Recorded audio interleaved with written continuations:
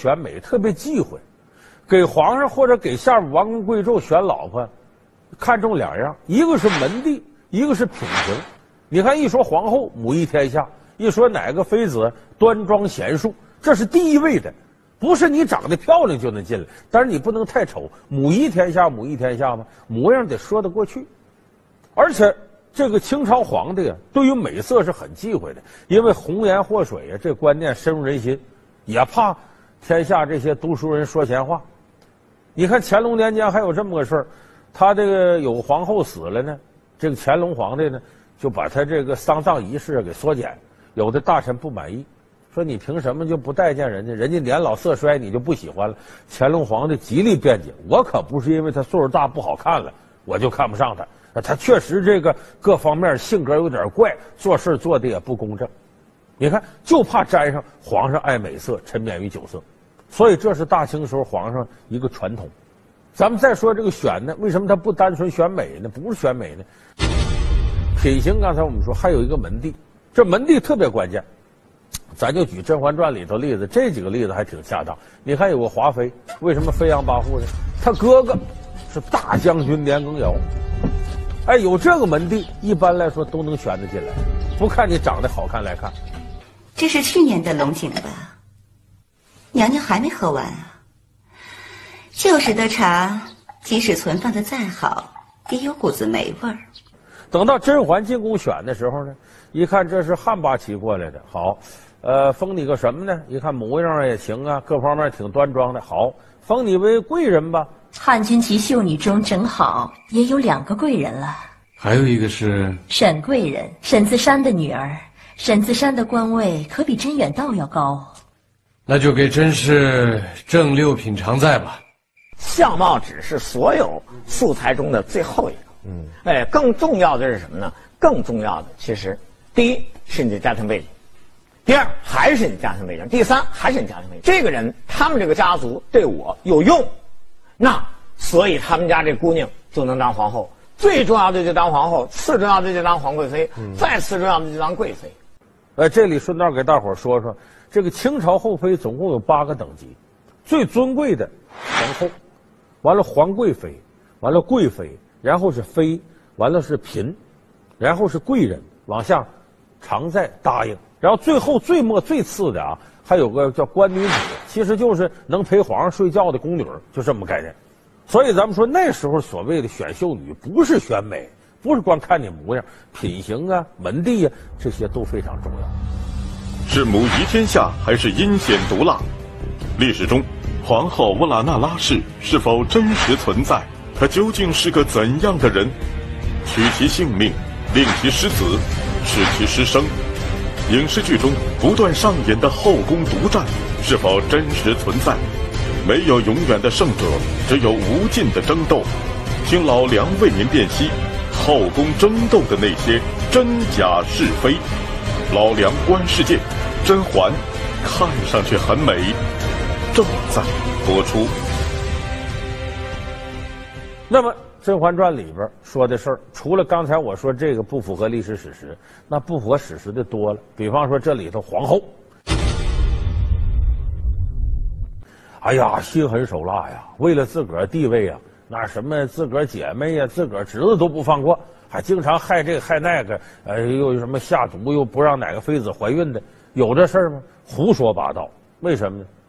皇后的选择特别重要，当然不排除有个别心肠歹毒的。整体来说，皇后呢，你得性格温柔和顺，母仪天下嘛，是天下女人的榜样。而且皇后乃后宫之长，说白了，领一大家子人呢，过日子那得。你没个样子也根本不行，所以皇后没有说很少有心肠那么歹毒的。你就说慈禧当年，哎，一说慈禧老佛爷卖国，其实你从大臣眼里看，慈禧几乎就没什么缺点，站有站相，坐有坐相，行事那得绝对一碗水端平，你得让人说得出来啊。就说这个人这个那个，你不能让人讲究你。再一个，皇后为什么没有必要嫉妒哪个妃子生皇子？因为所有妃子生的皇子。都得管他叫妈，都是他的孩子。你那生他那不过是他的生母，真正养着孩子、培养这块，这都是皇后的事他没必要嫉妒下边一个妃子。但历史上极少时候出现过狸猫换太子那相，那是特别特别少见的。所以说皇后最歹毒，极少有这情况。再一个，这里头有说下毒，说我嫉妒你，我给你下毒。你比方说有有用这个麝香让你这甄嬛流产，还有的说我嫉妒你，我我往你这汤里下药让你痴呆捏傻，有没有这事绝不可能出现。毒药。微臣觉得这马蹄羹有问题。臣妾日日都有。对了，夹竹桃可是损胎伤心的东西。你好毒，你好毒，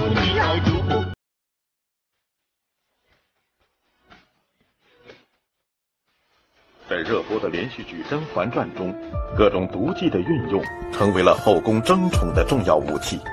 剧中代表药物一麝香。在剧中，甄嬛被猫扎伤脸后，安陵容送了她一瓶其中掺有麝香的舒痕胶，她涂在皮肤上想淡化疤痕，没想到却流产了。这盒舒痕胶是玲珑家传的，据说当年吴主孙和的爱妃邓夫人被玉如意伤了脸，就是以此复原的。此外，在剧中，华妃乃年羹尧之妹，万千恩宠却飞扬跋扈。终日以皇帝宠爱她，还专门为她配欢宜香为傲，但其实欢宜香内含有大量麝香，长期闻香的华妃终身不孕。皇上独独赐予臣妾的欢宜香，臣妾日日都用。对了，朕就喜欢这个味道，别人都没有。剧中代表药物二，木薯粉。在剧中，华妃发觉皇帝格外爱惜温宜公主。于是心生一计，利用温宜公主来陷害甄嬛。这马蹄羹有问题。木薯粉，那是什么东西？去让御膳房总管把近来碰过木薯粉的人一并带来，一个都不许放过。剧中代表药物三夹竹桃。安陵容偶遇落寞的齐妃，暗示齐妃夹竹桃是有损胎儿的东西。夹竹桃的汁液和花粉都是有毒的，夹竹桃。可是损胎伤心的东西。齐妃听了，动起了心思，给甄嬛送去了一份掺有夹竹桃的糕点。太医说，甄嬛正在喝桂枝汤，夹竹桃加桂枝会导致流产。虽然在电视剧里后宫充满了毒计与陷害，但是其实，在真实的历史中，想要下毒却并不是那么容易。一个是呢。皇宫里头，你要想下毒，你除非买通你这个对手他身边的宫女啊、太监，你买通他给你下毒。可是那谈何容易啊！因为每一个妃子只要上来，他的宫女太监都是一跟他跟多少年，你想买通人家得接受算呢。再一个，一旦你买通这妃子死了，这太监宫女得另外去适应另一个主子。那就基本上升迁无望了，有可能遭到虐待。更严重是他伺候这主子要死了的话，有可能宫女太监殉葬，多危险呢！谁能为那点钱豁出命去？不可能的。再另外更主要的是，宫里头戒备森严，你说下毒就下毒，说整什么药整什么药。万一你把皇上给药死呢？那了得吗？哪能让你把这毒药嘁哩咔嚓就给带进去？历史上没有那回事再有有的说那雍正，你这一天可真忙活啊，跟这么些女的谈恋爱，哎又又又是这个甄嬛的，又什么曹贵人的，又这个妃那个妃，又这个嫔那个嫔的，哎，有没有这事儿呢？